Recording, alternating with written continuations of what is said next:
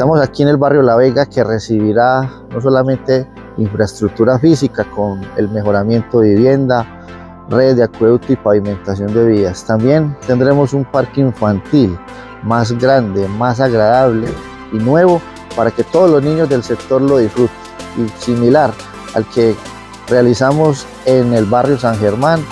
También el 1 y la Cristalina recibirán esta misma intervención para que nuestros niños disfruten y toda la gente del sector de este espacio para la recreación y el sano esparcimiento.